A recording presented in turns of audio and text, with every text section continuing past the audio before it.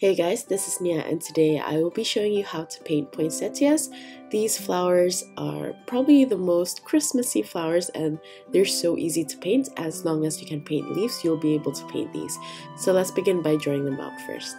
So the only basic shape that you will need to know for this flower is just a leaf shape with a midrib and veins and you will have to be able to draw the details afterwards when you paint. With this shape in mind, now we're going to group them in fives, so it's like a star. If it's a bit hard for you to draw them in groups of five straight away, then you can draw lines first to position the leaf shapes. Then after you get the hang of it, try to draw it out without the lines guiding you because you will need to be able to do that when you paint it freehand. However, if you decide to draw it before painting, you can also do that and it's probably a bit easier if you're still new to watercolors and you're still uncomfortable with holding the brush. These flowers basically grow on top of each other, so I like to actually add another layer or two under it for extra volume. And for the second layer behind the first one, I like to draw the leaf shape in between each of the petals that you previously drew out for the first layer. So there's still five petals. And for the third and final layer, don't draw in between the two layers because you'll end up with too many of them. So I just doubled the first layer, but to make the flower look natural and the third layer to not look like it's an outline instead, I like to actually draw it slightly tilting to the side so not all of the petals look exactly in the same position.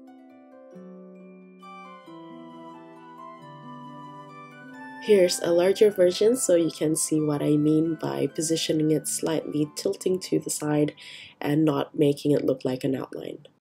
The leaves are basically the same thing as the flower. The thing is the flower itself is basically made out of leaves, but they turned this really nice deep red color at the top so they look like flowers. So I'm just going to draw the exact same leaf shape as the petals, but I'm just going to place them a bit randomly around the flowers so it looks a little bit more dynamic. And for the center of the flower, I'm also going to add small circles, preferably around 5 to 6 small circles. And for extra elements, I'm also going to add some pine leaves and also some red berries, just like the ones from the previous video. You can also choose from any of them that I painted before, but I'm just going to choose one of them. Next, I'm going to list the colors that I'll be using for this painting. For the flower, I'm going to use three different types of reds. So I'm going to use Crimson Lake, Vermilion, and Naphthol Red. I'm also going to use Ultramarine Deep to darken any parts of the flower that I want to layer under and I'm also going to use that for the leaves along with sap green and permanent yellow deep. I'm going to just paint one big flower for this, but you can group them too if you would like to. And because I'm only going to paint one flower, I'm going to paint quite a large one. So I'm using this big brush right here, but adjust the brush size according to the size that you're going to paint.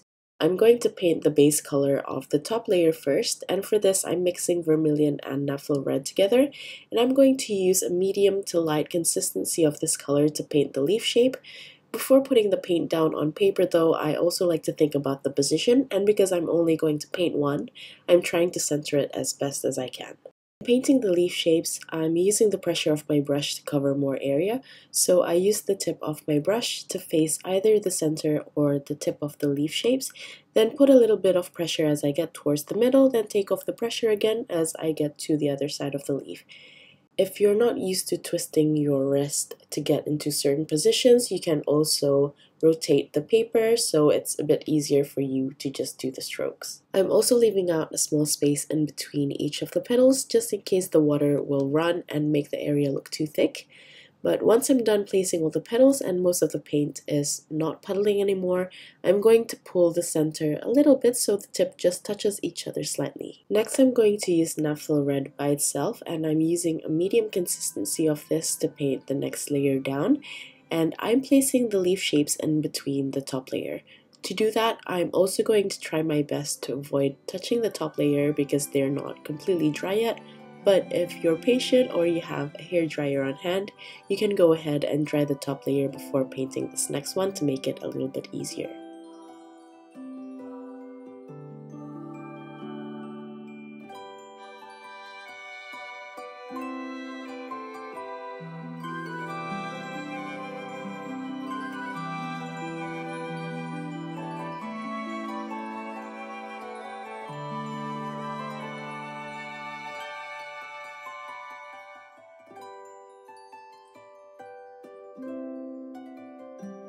Now I'm going to mix in some Crimson Lake with the excess Naphthol Red that I still have on my palette to get a slightly darker red tone and I'm going to use this mix to paint the third layer that is going to be slightly hidden behind the top layer. As you can probably tell, this is why I made the first layer lighter than the rest, so the darker red tone can actually accentuate the light red in the middle.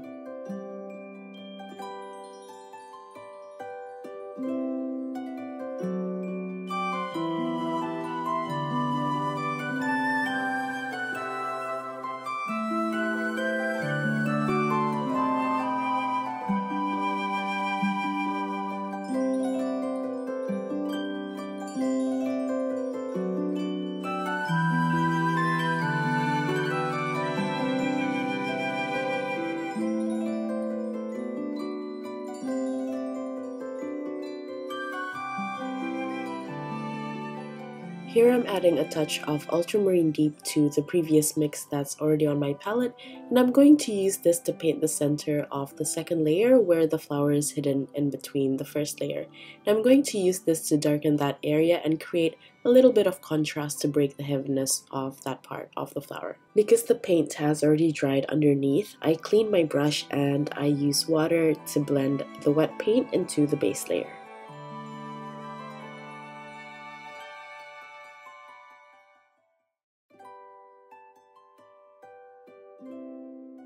I'm going to move on to the leaves now and for this I'm going to mix ultramarine deep and sap green together to create a dark green and next to it I'm going to just place permanent yellow deep by itself so I can change up the ratio and create different tones of greens. For the leaves, I'm just going to paint them like how I painted the flowers and distribute them around. I'm still leaving out some spaces though so I can add the additional elements later on. At this point, this painting might look a little bit flat, but we will add on the details after this because I just want to place down the main elements first and work on the details together.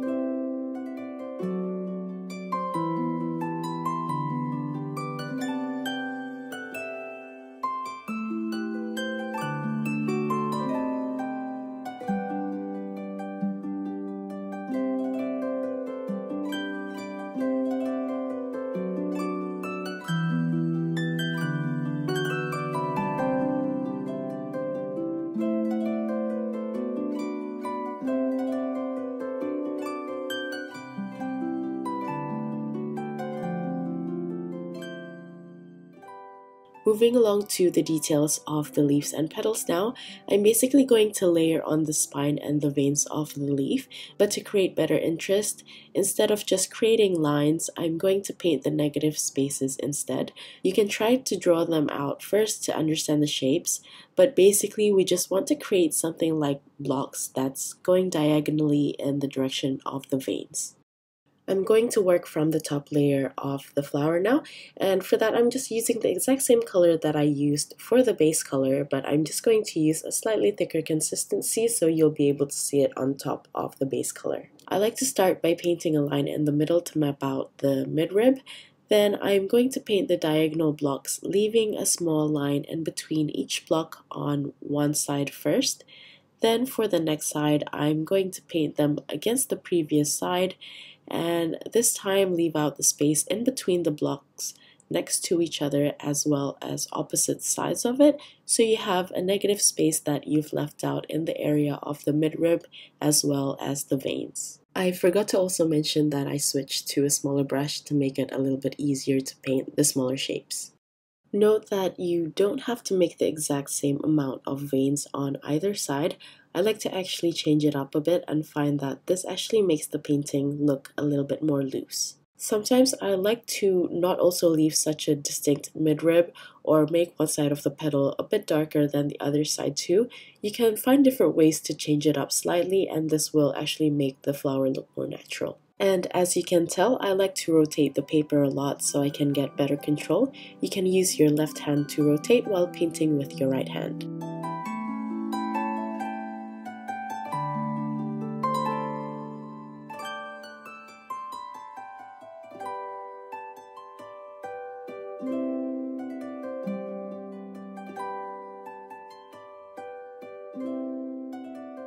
For the next layer down, because the color of the red is actually quite vibrant and because I added the ultramarine deep, I'm going to go straight in with Crimson Lake and mix it with whatever Naphthol red I have left on my palette and paint it the same way as the top layer. As you can tell, because the color that I'm using is a similar consistency but just slightly darker than the base color, the contrast between the negative shapes isn't so distinct. So if you would like to make yours more visible, you can mix it with a darker color, but I actually prefer mine to have less detail in that area so the top layer becomes the focal point.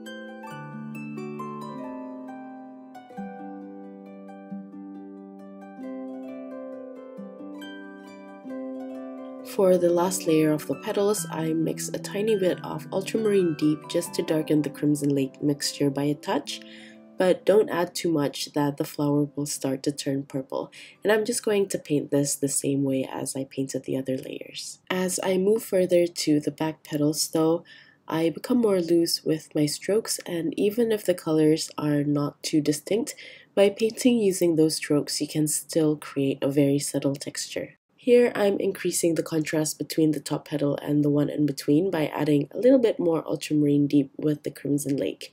And in some areas of the petals, if I feel like I can bump up the texture slightly, I use a thinner consistency of the same mixture to add more of the negative shapes of the veins. Then I went back to the top petals again and I used a mixture of vermilion and Naphthol red in a medium consistency to paint the midrib very lightly so you can still see the area of the negative space as well as the line that I just painted. For the leaves, I'm going to add the exact same texture as the flower, but this time I'm using the green mixture, and like before, I like to change up the ratio of the hues to create different tones.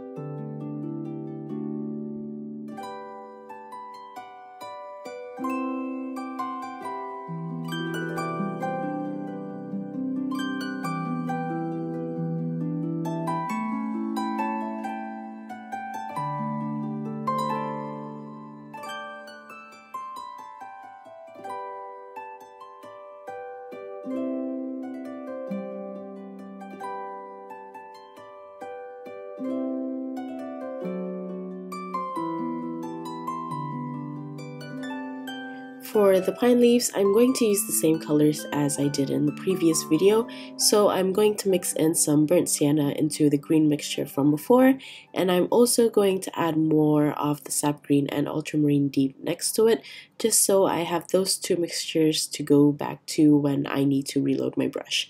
For this, I'm using my smallest brush, but if you can control a bigger brush, you can also stick with that. I like to paint the stem of the spine using the burnt sienna mixed with some green mixture and for the leaves itself I'm going to draw out wispy lines using the dark green mixture and fill in the spaces that I feel look a little bit empty. You don't have to make the spine a different color, you can also stick with just the green if you would like to.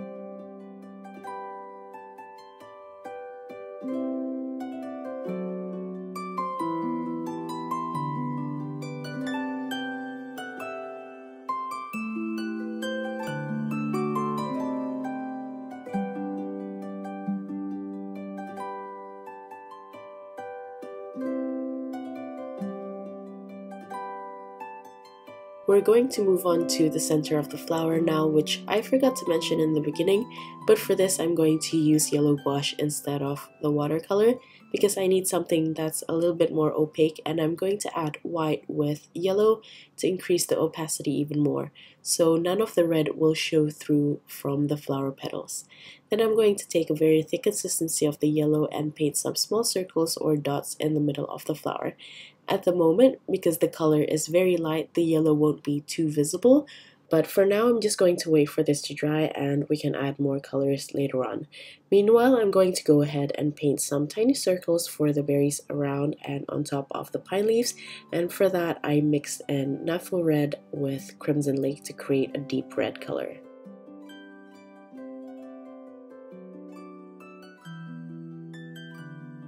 So after I finish painting the berries, I make sure that the yellow is now completely dry. Then I mix some ultramarine deep with crimson lake to create a really dark burgundy color and I used my small brush to paint this color around the yellow circles and the burgundy color will make the yellow pop. So the flower is basically done now but I'm going to turn this into a Christmas card and I wrote Merry Christmas with pencil first to make sure that I like the position then I just outline it with my art liner afterwards. After that, I waited a few seconds for the art liner to completely dry and I erased the pencil. Then I tried to thicken some of the strokes too so the writing is a bit more visible. And that's basically it. This is the finished flower and card. After I filmed this, I also decided to add a little bit of gold leaf at the tip of the flower petals and I apply it just by using PVA glue like how I did it in the previous video. Next week, I'm going to make another Christmas card which has a poinsettia wreath. So if you're interested, don't forget to join me in the next video. Anyway, thank you so much for watching till the end and I'll see you at the next one. Bye!